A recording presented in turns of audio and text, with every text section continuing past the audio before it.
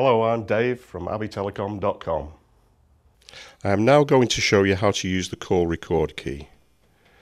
When you are on a conversation with our friend the speaking clock,